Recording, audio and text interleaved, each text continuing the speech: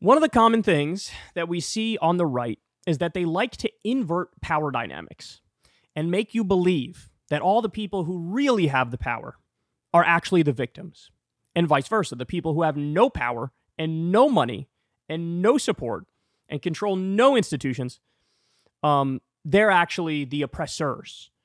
So uh, here's Matt Walsh. He's gonna he's gonna lay out this dynamic in a way that is almost a caricature of itself. Like this is Matt Walsh parodying Matt Walsh, basically. But he's serious. He's serious. Watch this. So if you're giving $400,000 to a random homeless guy, the chances that you're throwing money at a crazy, violent drifter is pretty high. And even if he isn't crazy and or isn't violent, it, it's still going to be a disastrously bad idea in nearly every case to give large sums of money to a homeless person. As I tried to explain many times, most of these people aren't homeless simply because they have no money and they have no home. Okay? And, I don't, and, and anytime I say that, there's always the idiots who laugh. what do you mean? What do you mean they're not homeless because they don't have a home? That's the definition of homeless. No, you morons. Give them money and a home, and they'll be homeless again 15 minutes later. Do you understand that?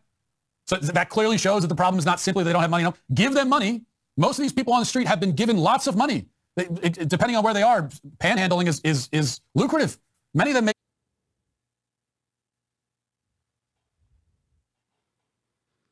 Panhandling is lucrative. That's what he just said. All right, let's let him finish. Most of these people on the street have been given lots of money. It, depending on where they are, panhandling is, is, is lucrative. Many of them make more money than people that work minimum wage and have been live in apartments. You know, it's, you can make hundreds of dollars a day doing that. Where does the money go?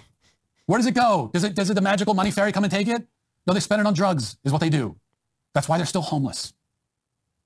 They're not, they're not, they're not st- stashing it away and hanging on to it. So the argument he's making, he kind of summed it up when he said, if you give these people uh, money and a house, they'll be homeless again 15 minutes later. So that's his view of it. His view is it's almost like they're predestined or, you know, genetically guaranteed to end up homeless. Like it's just a character defect, it's just a flaw. That's what's going to happen with them no matter what. That's the argument he's making. The problem for his argument is that this has been studied a thousand ways to Sunday. And the findings are actually astonishing because it's only a small percentage that fit the description he's laying out. He's making it seem like every homeless person is either mentally ill or a drug addict or both. It's actually a relatively small percentage that are uh, drug addicts or mentally ill or both. In the majority of cases that people are homeless, it is literally because they don't have the money and they don't have a roof over their head. So it is because of economic degradation that led them to where they are. Again, I want to be clear. That's not my opinion. There's been a number of studies that verify that and validate that. And by the way, here's something people don't usually think about, which is true. There's different stages and different levels to homelessness. So, oftentimes, the homeless people that most see on the street are homeless people who are at like the extreme terminal end of the homeless spectrum. There are hundreds of thousands, maybe even millions of people who are homeless and kind of couch surfing you know, I go to my uncle's house this day, I go to my friend's house that day. I'm, you know, I'm trying to to get a place. I'm struggling to get a place. My job doesn't pay enough. I ran through all my savings. I don't have enough money. You know, I won't get I'm not getting hired for reasons X, Y, or Z. There are plenty of people who are couch surfing, who are homeless. There are plenty of people who are living in a car who are homeless. And these are like the earlier stages of homelessness. And then, you know, that final stage, which is when most people see homeless folks on the street. It's like, you know, they've been homeless for years, um, sleeping under a bridge, whatever it might be. But what he's trying to do is redefine it. It's not an economic problem, it's not a systemic problem. It is an individual moral failing and psychological problem. But again, the facts butt up against the reality because the facts are, for most people, it actually is that they just don't have the money and can't get a roof over their head. And if you gave them, by the way, he acts like, well, if you give them money, that's not going to solve anything. Guys, we have programs about this. Remember the Stockton, California UBI program? The UBI program, people just got 500 bucks a month, no strings attached. In the overwhelming majority of cases, people spent the money on the electric bill, on the water bill, on food, on necessities. It was a tiny, tiny percentage that went to vices, like alcohol, for example, or gambling.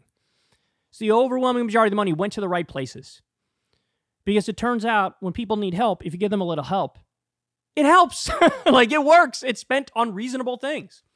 Now, is that me saying there's nobody out there who's homeless who, if you give them the money, they're going to go get high or whatever? No, of course not. But look, I got to be honest with you. Even in those situations where you do give a homeless guy 10 bucks or 20 bucks and they do use it to go get high, if my ass was on the street for weeks on end, it's freezing fucking cold, I feel miserable. The least I could, I want is to feel a little high to take the edge off of the harsh, brutal reality that I'm living in. So I can't even judge those people. You know, if I was homeless, if I was in that situation, nothing went right. Uh, you know, I'm I'm cold, I'm miserable, I feel like I have no hope. Why wouldn't I want to get high? So I it's just ugh. The way he talks about this stuff. He said panhandling is lucrative. Imagine using the word lucrative. Yeah, you know, when I'm in DC, I see it sometimes. People basically asking for money. Sometimes they're walking through traffic. They have like a cup out. The idea that that's lucrative is preposterous. By no definition of the word lucrative is that lucrative. See, a guy like um, Matt Walsh, he inverts the power dynamic every time. So to him, you know, these homeless people, they're the problem. They're not victims. They make our cities dirty. They're disgusting. They're the problem with society. But the billionaires, the exploitative billionaires, they're they're the good guys. Right? They're the ones who are oppressed because the state wants to tax them so much. It's so unfair. They're going to take 50, 60% of their money. That's unreasonable. What victims they are. You see the trick that conservatives play?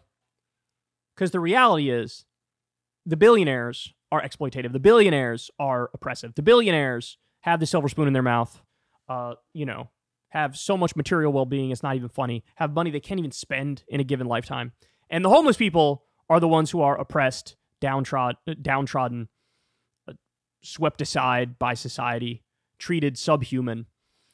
So he flips the power dynamics. They do it with black and white. They do it with man and woman. They do it with rich and poor. And this is, I've never seen a more clear platonic ideal of that. Let's watch one more time. So if you're giving $400,000 to a random homeless guy, the chances that you're throwing money at a crazy violent drifter is pretty high.